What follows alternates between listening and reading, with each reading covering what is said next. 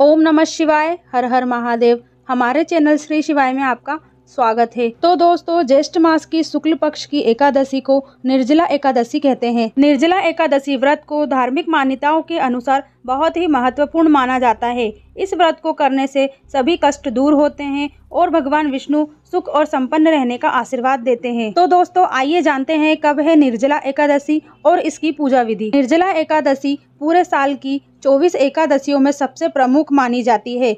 धार्मिक दृष्टि से सर्वाधिक महत्वपूर्ण निर्जला एकादशी ज्येष्ठ मास के शुक्ल पक्ष की एकादशी है। इस साल यह एकादशी 31 मई को मनाई जाएगी। इस एकादशी व्रत को करने से सभी कष्टों से मुक्ति मिलती है। इस दिन जरूरतमंद लोगों को दान पुण्य करने का विशेष महत्व होता है। इस दिन परिवार की सुख समृद्धि और खुशहाली के लिए निर्जला व्रत रखा जाता है। यह व्रत अधिकतर महिलाएँ करती है। तो आइए आपको बताते हैं निर्जला एकादशी का महत्व क्या है। निर्जला एकादशी को लेकर यह मान्यता है कि अगर आप पूरे साल एक भी एकादशी व्रत नहीं करते हैं और निर्जला एकादशी व्रत करते हैं तो आपकी संपूर्ण एकादशियों का फल मिलता है और भगवान विष्णु आपसे बहुत प्रसन्न होते हैं। इस व्रत को करने वाले लोगों को अन्न और जल का त्याग करके व्रत करना पड़ता है। पद्म पुराण में बताया गया है कि इस व्रत को करने से दीर्घ आयु और मोक्ष की प्राप्ति होती है।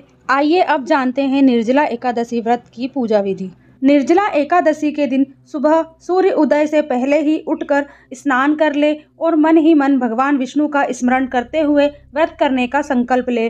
पूजा घर को गंगा जल छीट कर पवित्र कर ले। लकड़ी की चौकी पर साफ़ पीले रंग का वस्त्र बिछाए और उस पर भगवान विष्णु की तस्वीर स्थापित करे। भगवान विष्णु को पीले रंग का वस्त्र अर्पित करें। अगर आपके पास वस्त्र नहीं है तो पीले रंग का गमछा भी रख सकते हैं। पूजा के बाद यह गमछा किसी जरूरतमंद को दान कर दें। भगवान विष्णु की पूजा में पीले रंग के चावल, पीला फूल और पीले फल भी शामिल करें। विधि विधान से निर्जला व्रत की पूजा करें और उसके बाद मिष्ठान का भोग लगाकर प्रसाद के रूप में वितरित करें।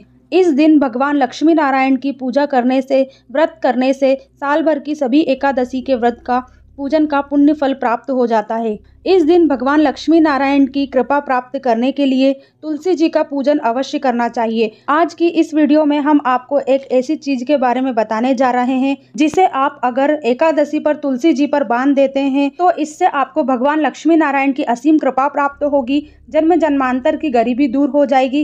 इससे पूरे साल पैसा खींचा चला आएगा। जीवन भर धन की कमी नहीं रहेगी। इसी से जुड़ा इस उपाय को करने से आपके भाग्य के द्वार खुल जाएँगे। बरसों की निर्धनता दूर हो जाएगी। भगवान विष्णु और माता लक्ष्मी आपके ऊपर असीम कृपा बरसाएँगे। धन, धान्य, सुख समृद्धि से आपकी झोली भर देंगे। तुलसी तो सब लगाते हैं, लेकिन इस बार इस उपाय को बहुत कम लोग जानते हैं। तुलसी के नीचे बांधे यह एक चीज़, माँ तुलसी का मिलता है ढेर सारा आशीर्वाद। माता लक्ष्मी होती है आकर्षित। घर में नहीं आते कष्ट तुलसी का पौधा अगर आपके घर में लगा है तो यह आपके परिवार के लिए बहुत ही लाभकारी है।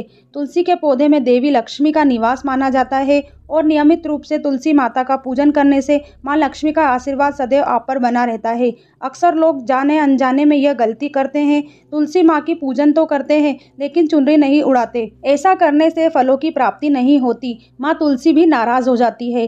शास्त्रों के अनुसार जिस घर में तुलसी माँ को चुनरी उड़ाकर रखा जाता है और उनकी पूजा की जाती है, उस घर में सदैव माँ लक्ष्मी का वास होता है। तुलसी माँ को चुनरी उड़ाते समय इस बात का ध्यान रखें कि माँ तुलसी को हमेशा शुभ रंग की चुनरी जैसे लाल, पीली, गुलाबी या हरे रंग की चुनरी उड़ानी चाहिए। तुलसी माँ का विवाह भगवान शालिग्राम से हुआ है। ये रंग सौभाग्य का प्रतीक माना जाता है। इन रंग की चुनरी माँ तुलसी को उड़ाने से सौभाग्य की में वृद्धि होती है और माँ तुलसी का आशीर्वाद सदैव आप पर बना रहता है। ध्यान रहे, माँ तुलसी को कभी भी नीली, काली या सफ़ेद, अशुभ रंग की चुनरी ना उड़ाए ऐसा करने से माँ तुलसी के साथ माँ लक्ष्मी भी नाराज़ हो जाती है। जय माँ लक्ष्मी नारायण, हर हर महादेव।